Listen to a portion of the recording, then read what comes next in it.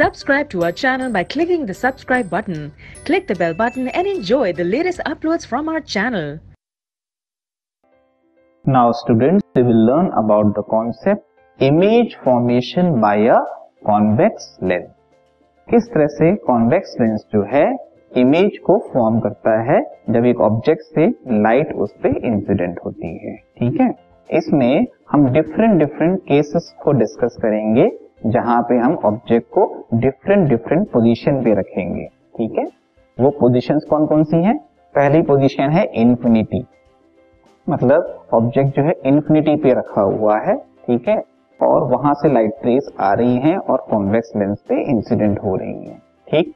Infinity के बाद अगली पोजीशन है एक फाइनाइट डिस्टेंस जो कि उस लेंस के सेंटर ऑफ़ कर्वेचर और इन्फिनिटी के बीच की डिस्टेंस है। इसको हम कह सकते हैं बियॉन्ड सेंटर ऑफ़ कर्वेचर ठीक है? ऑब्जेक्ट को हम बियॉन्ड सेंटर ऑफ़ कर्वेचर रखेंगे, फिर हम ऑब्जेक्ट को और पास लाते जाएँगे। बियॉन्ड सेंटर ऑफ़ कर्वेचर पे रखने के बाद सेंटर ऑफ़ कर्वेचर पे रखेंगे, फिर सेंटर ऑफ़ कर्वेचर और फोकस के बीच में रखेंगे, फिर एग्जैक्टली फोकस पे रखेंगे देन फोकस और ऑप्टिकल सेंटर के बीच में रखेंगे। इस तरह से अलग अलग पोजीशन में ऑब्जेक्ट को रख के देखेंगे कि कॉन्वेक्स लेंस जो है, किस तरह से इमेज फॉर्म करता है। ठीक है? ये अलग अलग जो पोजीशन है, उसको हम डिस्कस भी करेंगे। जैसे कि आप इमेज में देखो। पहला मैं अभी दिखा रहा हूँ आपको। मान लीजिए ऑब्जेक्ट जो रखा है, वो बियॉन्ड सी रखा हुआ है। ठीक है? वैसे तो पहला केस है इन्फिनिटी पे। वो एक्चुअली हम डिस्कस कर चुके हैं। जो प्रिंसिपल फोकस बनता है, वो उसी के बेसिस पे बनता है। इन्फिनिटी पे रहने वाला ऑब्जेक्ट जो है, रखा रखा हुआ जो ऑब्जेक्ट है उस पे उससे जो लाइट रेज आएँगी वो पैरल लाइट रेज आती हैं। तो वो क्या है? फोकस पे मीट करती हैं। तो इमेज भी कहाँ बनती है? फोकस पे बनती है। उस पे आएँगे पहले हम एक फाइनाइट डिस्टेंस पे देखते हैं। मान लीजिए जो ऑब्जेक्ट है वो बियॉन्ड सी रखा है फाइनाइट डिस्टेंस पे। तो ये कॉन्वेक्स लेंस है प्रिंसिपल एक्सिस बना हुआ है उसके different points C1, F1, F2 और C2 आपको नज़र आ रहे हैं राइट तो C1 क्या है? पहला सेंटर ऑफ़ कर्वेचर पहले कर्व का ठीक है? और ऑब्जेक्ट को हमने बियॉन्ड सी रखा हुआ है या बियॉन्ड सेंटर ऑफ़ कर्वेचर रखा हुआ है। तो ये लाइट रे आई, ठीक है ना? पहली लाइट रे जो है पैरेलल थी, वो रिफ्रैक्ट होकर फोकस पे पास हो गई।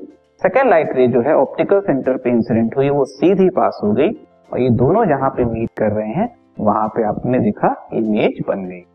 कहा बनी इमेज फोकस और सेंटर ऑफ़ कर्वेचर के बीच में F2 और C2 के बीच ठीक है? तो ये केस था जहाँ पे ऑब्जेक्ट को हमने बियॉन्ड सी रखा था और जो इमेज बनी है एफ़ और सी के बीच में बनी है। कैसी इमेज बनी है? लाइटरेस एग्जैक्टली मीट कर रही है कन्वर्ज कर रही है तो ये बनी है real and inverted image size क्या है इसकी? छोटी है स्मॉलर देन द ऑब्जेक्ट ठीक है? ये पहला केस था। अब ऑब्जेक्ट को हम रखेंगे सी पे। ठीक है? सेंटर ऑफ़ कर्वेचर पे रखेंगे। अगेन लाइट रेस इंसिडेंट हुई और रिफ्रैक्ट होके देखिए इमेज जो है C2 पे बन गई। C1 पे ऑब्जेक्ट को रखा C2 पे ही C2 पे इमेज बन गई। कैसे? अगेन वो पहली लाइट रे जो थी वो पैरेलल लाइट रे फोकस से पास हो गई। Second light ray optical centre से पास होती हुई गई विदाउट डिविएशन दोनों रिफ्रैक्टेड रेज जहाँ मीट हुई, वहाँ पे इमेज बन गई। ये कैसी इमेज है? Again real and inverted and same size as that of the object ये इसकी कैरेक्टरिस्टिक है। ठीक है? पोजीशन C1 पे था ऑब्जेक्ट इमेज C2 पे ओके अब और हम पास लाएँगे ऑब्जेक्ट को। अब हमने रखा ऑब्जेक्ट को C और F के बीच में गए, ठीक है? अब देखिए कैसे इमेज बन रही है। इमेज बन रही है बियॉन्ड सी और इसमें कुछ खासियत क्या है? ऑब्जेक्ट की साइज़ तो इमेज की साइज़ जो है बिगर आ रही है। बियॉन्ड सी बन रही है and bigger than the object ठीक है? वही दो रेस ली हैं जो पिछले केस में ली थी। नेक्स्ट केस है अगेन हम और पास लाएँगे ऑब्जेक्ट को। फोकस पे रखा है एग्जैक्टली अब क्या होगा? ये लाइट रेस जो है, इस तरह से रिफ्रैक्ट हुई है कि दोनों रिफ्रैक्टेड रेस जो है, वो पैरेलल आ रही है। आप पैरेलल लाइट रेस को मीट नहीं करेंगे तो इमेज में ही फॉर्म होगी। तो ऐसा माना जाता है कि जो पैरेलल लाइट रेस है, वो इंफिनिटी पे जाके मीट होती है। ठीक है? तो इंफिनिटी पे जाके इमेज भी बनेगी। वो भी कैसी? Very bigger than the object again real and inverted and very very bigger than the object ऐसा मानते हैं। ठीक है? नेक्स्ट केस देखते हैं। अब हमने फोकस और ऑप्टिकल सेंटर के बीच में रखा ऑब्जेक्ट ठीक है?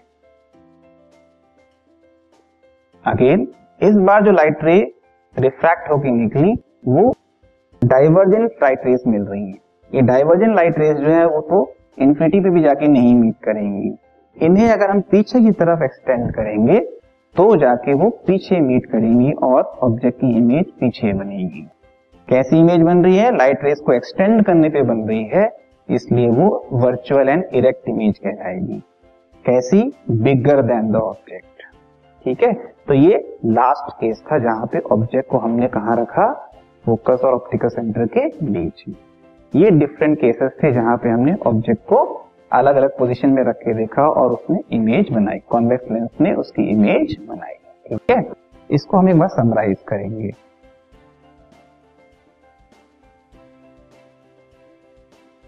देखिए समराइज समराइज कैसे करेंगे? फ़र्स्ट ऑब्जेक्ट की पोजीशन क्या है? बियॉन्ड सी ठीक है? लाइट रेज आई रिफ्रैक्ट हुई। और इमेज कहा बनी? फोकस और सेंटर ऑफ़ कर्वेचर के बीच में। कैसी? Real and inverted and smaller than the object next object को कहाँ पे रखा हमने? C1 पे रख दिया एग्जैक्टली exactly. इमेज कहाँ फॉर्म हुई? C2 पे। Same size real and inverted okay next case C और एफ़ के बीच में रखा ऑब्जेक्ट को। इमेज कहाँ बनी? बियॉन्ड सी कैसी? रियल एंड इन्वर्टेड लेकिन bigger than the object next case है ऑब्जेक्ट को हमने फोकस पे रखा।